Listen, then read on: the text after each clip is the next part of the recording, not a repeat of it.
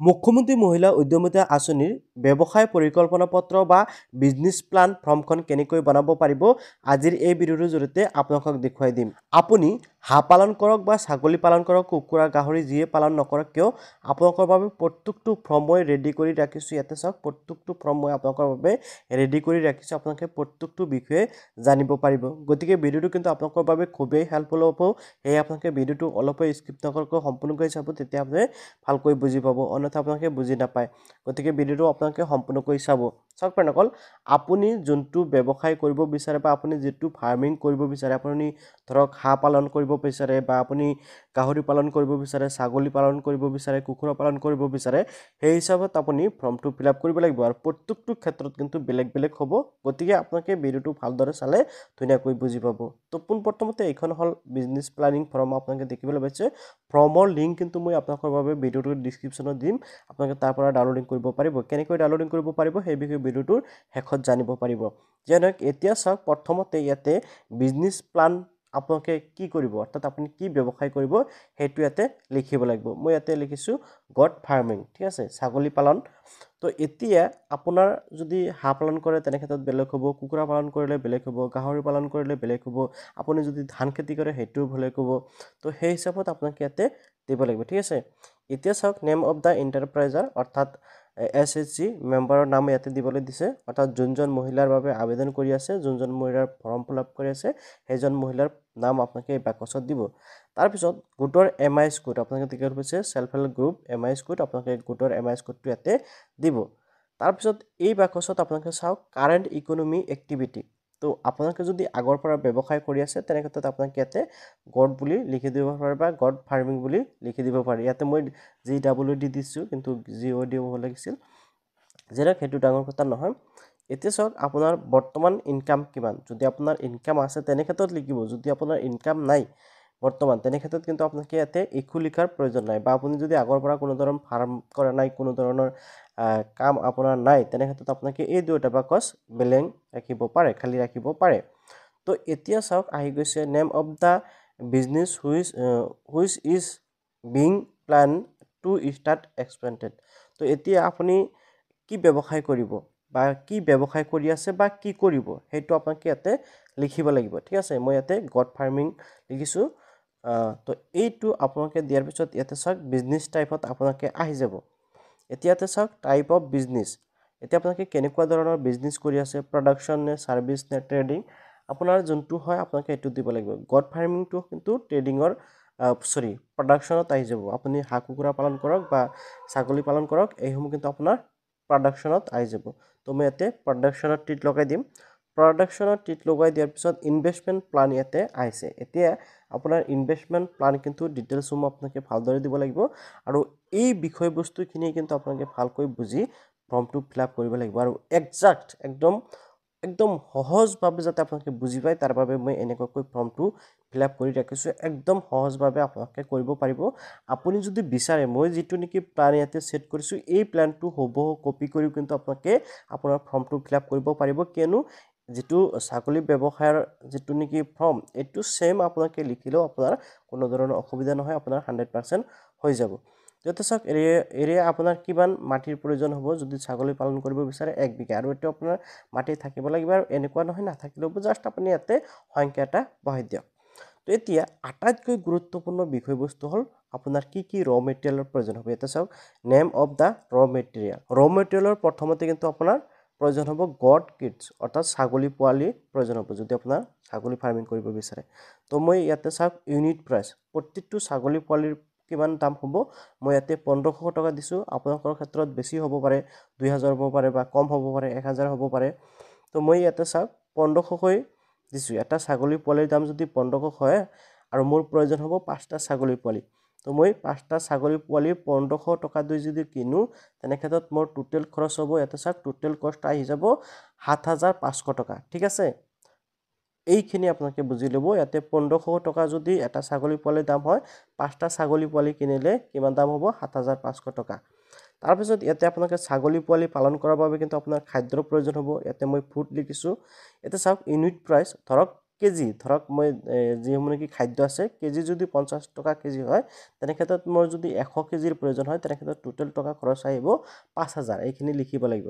মই যিমান দিন মানে ছাগলী পোৱালিসমূহ পালন কৰিম সেই দিনৰ বাবে ইয়াতে মই লিখিছোঁ। আপোনালোকৰ কম বেছি হ'ব পাৰে সেই হিচাপত লিখিব। তাৰপিছত ইয়াতে চাওক মেডিচিনৰ প্ৰয়োজন আছে। মেডিচিন যদি এশ টকা প্ৰাইচ হয় এটাৰ তেনে ক্ষেত্ৰত চাৰিটা পাঁচটা হ'লে আপোনাৰ পাঁচশ টকা লাগিব।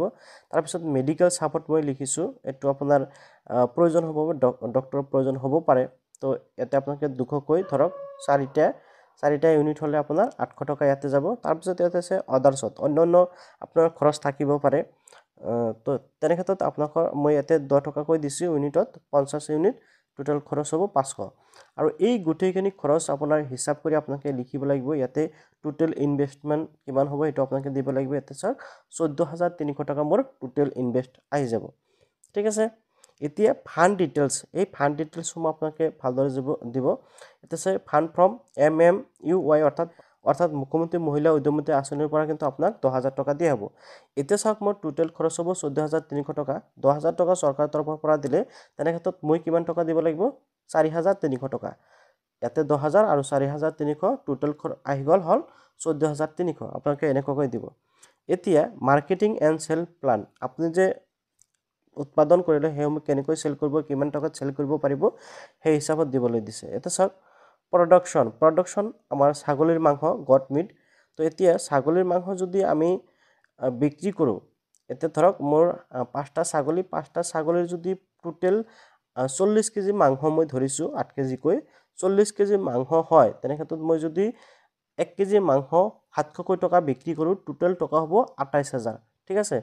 তো এতিয়া আপোনালোকে এই ডিটেইলছখিনি এনেকুৱাকৈ ফিল আপ কৰি দিব। তাৰপিছত ইয়াতে আছে ex expected additional income per year যদি আপোনাৰ অন্য ইনকাম থাকে সেইটো আপোনালোকে লিখিব পাৰে। তাৰপিছত ইয়াতে ছিগনেচাৰ কৰিব ভেৰিফাই বাকীখিনি কৰিব। ইয়াতে চাওক গোটৰ সদস্যজনে জাষ্ট ইয়াতে ছিগনেচাৰ কৰিব বাকী একো কৰিব নালাগে ফৰ্মটো আপোনালোকে জমা দিব। ঠিক আছে? এইটো মই জাষ্ট আপোনালোকক দেখুৱালোঁ ছাগলী পালনৰ ক্ষেত্ৰত। এতিয়া আপুনি যদি গাহৰি পালন কৰে ঠিক এনেকুৱা ধৰণে কৰিব পাৰিব। জাষ্ট আপোনাক ইয়াতে পিগি দিব লাগিব আৰু বাকীখিনি ছেম আপোনালোকে চাই লৈ কৰিব পাৰিব। ঠিক তেনেকুৱাকৈ আপোনালোকে কৰিব পাৰিব। এতিয়া মই অন্য আৰু এটা দেখুৱাই আছোঁ। এতিয়া চাওক মই এইটো দেখুৱাই আছোঁ এইটো হ'ল ডাক ফাৰ্ম অৰ্থাৎ হাঁহ পালন। এতিয়া চাওক এই ডাক ফাৰ্ম আৰু আপোনাৰ কুকুৰা পালন ছেম হ'ব জাষ্ট আপোনালোকে অলপ বুজি ল'লেই হ'ব। ইয়াতে চাওক ডাক ফাৰ্মত মই লিখি দিছোঁ এতিয়া চাওক আপোনাৰ নামটো দিব লাগিব সদস্যজনীৰ ইয়াতে এম আই স্কুট আহিব ইয়াতে আপুনি ডাক ফাৰ্ম যদি আগৰ পৰা কৰি আছে লিখিব আপোনাৰ এনুৱেল ইনকাম আগৰ পৰা কিমান আছে বৰ্তমান সেইটো দিব। তাৰপিছত আপুনি কি কৰিব? ডাকৰি এইটো আপোনাৰ ডাকৰি লিখি দিব আপুনি যিটো কৰি আছে। তাৰপিছত ইয়াতে চাওক ইয়াতে চাওক আপোনাৰ টাইপ অফ বিজনেছ প্ৰডাকশ্যন আহিব ইনভেষ্টমেণ্ট প্লাব আপোনালোকে এইটো লিখি দিব।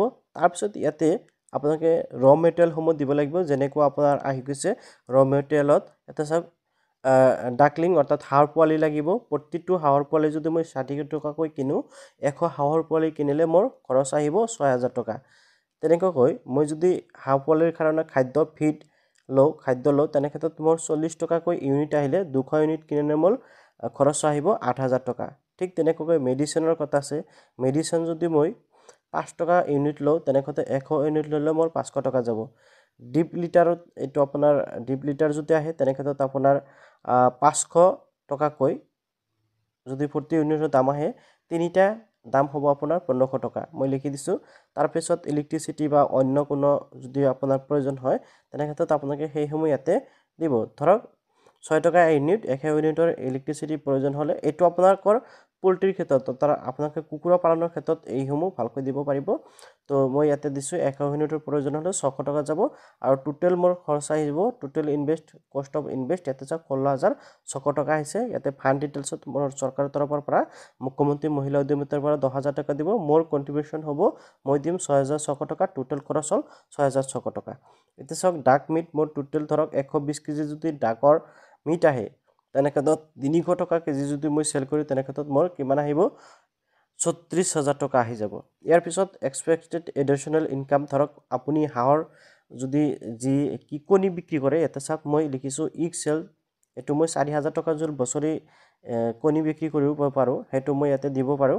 তাৰপিছত বাকী আপোনাৰ একে জাষ্ট ইয়াতে ছিগনেচাৰ কৰিব আৰু আপোনালোকে ফৰ্মখন জমা দিব। আশা কৰিছোঁ আপুনি নিশ্চয় জানিব পাৰিলে যে হাঁহ কুকুৰা গাহৰি বা আপোনালোকে ছাগলী পালনৰ ক্ষেত্ৰত কেনেকৈ ফৰ্মটো ফিল আপ কৰিব পাৰিব।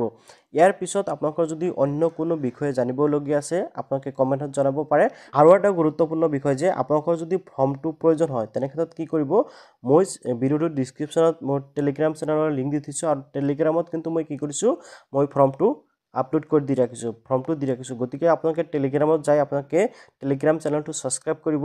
কিয়নো মই কিন্তু আপোনালোকৰ বাবে এনেকুৱা গুৰুত্বপূৰ্ণ ফৰ্ম বা গুৰুত্বপূৰ্ণ আপডেটসমূহ টেলিগ্ৰামত দি থাকোঁ। গতিকে আপোনালোকে টেলিগ্ৰামৰ পৰা কি কৰিব ফৰ্মটো ডাউনলোডিং কৰিব লগতে টেলিগ্ৰাম চেনেলটো ছাবস্ক্ৰাইব কৰিব।